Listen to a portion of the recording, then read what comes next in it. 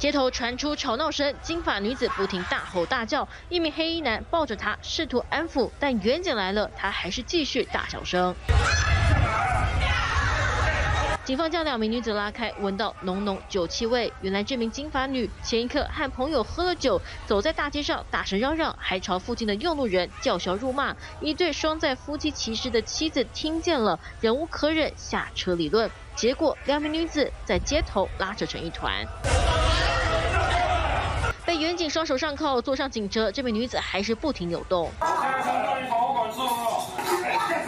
十三号凌晨四点多，台北市西门町峨眉街，许多警方看见两名女子爆发口角还动手，随即通知支援警力到场协助，事后将双方带回厘清。警方初步了解，十九岁金发女疑似因为酒醉乱骂人，惹得二十九岁邓姓女子不满，但过程当中双方疑似都有动手，也都说自己有受伤，最后互告伤害。互相拉扯，造成邓女的大腿红肿淤青，现场因为缺女，酒醉疯狂。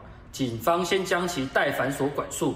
天都还没亮，宁静街头回荡争吵声。警方事后将酒醉金发女带回派出所保护管束，冷静一下。毕竟大半夜的这样子胡乱叫嚣，不仅吵到陌生路人，还互相拉扯，附近居民也被闹得不能好好睡觉。